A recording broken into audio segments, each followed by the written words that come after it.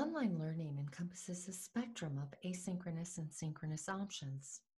In this presentation, we'll explore various considerations for choosing either option.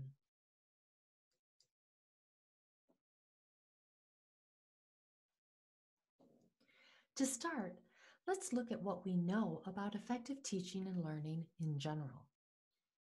Research over many decades has helped us understand that regardless of the learning environment, there are certain things that always have a significant positive impact on learning.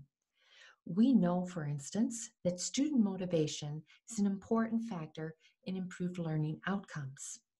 There are many strategies to increase motivation, but a few of the more important ones include highlighting the relevance of the content, indicating clearly where to get support when it's needed, providing timely feedback, and developing community among students and the teacher. In addition to motivation, we need to build in plenty of opportunities for interacting with the content. The research is very clear on this point. Reading and listening to lectures introduce students to the content, but they also need time and opportunity to think about, manipulate, and reflect on the knowledge and skills they're being asked to learn.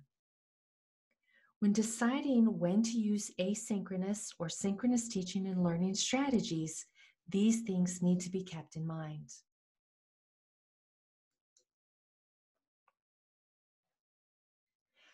In addition to general research on teaching and learning, we know quite a bit about online teaching and learning because we've been researching it for more than 20 years. That research has explored the relative merits of synchronous and asynchronous methods in a variety of educational contexts. In general, it suggests that synchronous and asynchronous methods offer unique affordances, but they also present specific challenges. In short, it isn't a question of if you should use asynchronous or synchronous methods, it is a question of when you should use them.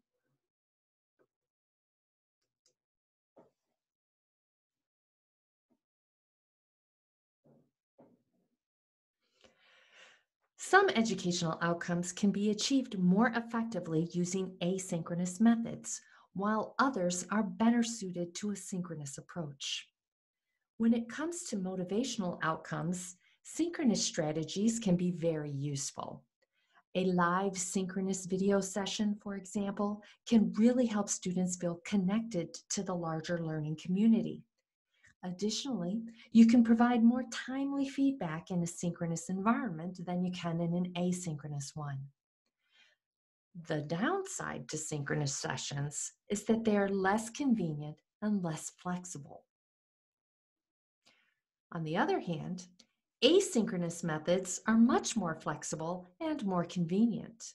This type of environment is also more supportive of the types of student content interaction, practice, and critical thinking because they allow more time to do so, more time to practice with the ideas. Yet, asynchronous environments and methods can feel quite isolating for some students, and they do require more self discipline.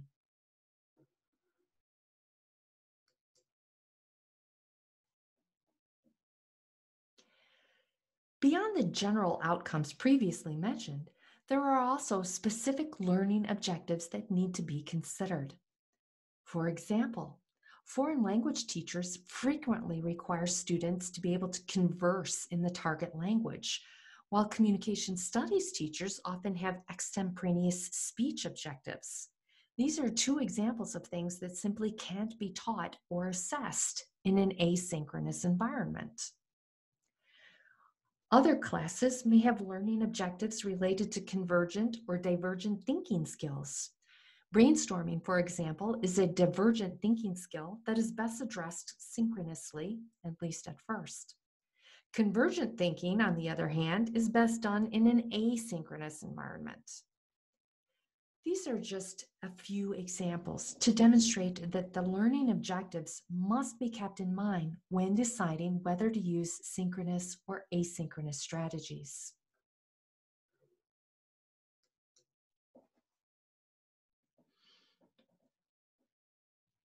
There are also other factors to consider.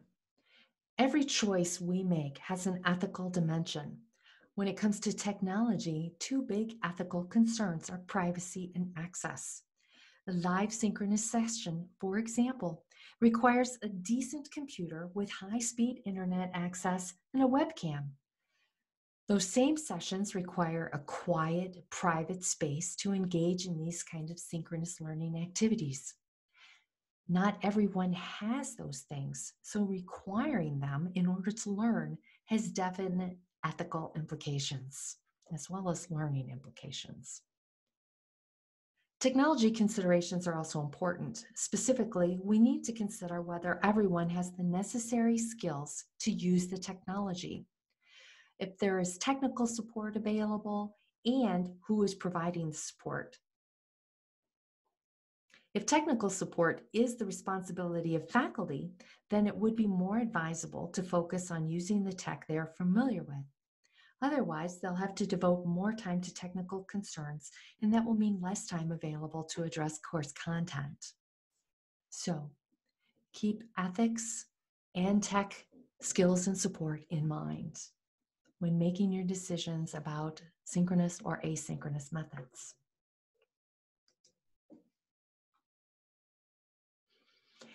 In short, Online teaching and learning is all about finding a balance between synchronous and asynchronous methods based on student and faculty needs, learning outcomes, and technical and ethical considerations.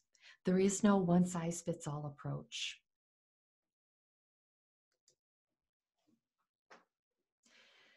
This presentation just covers some of the highlights of the many things you should consider when trying to decide when to use asynchronous and synchronous teaching and learning strategies.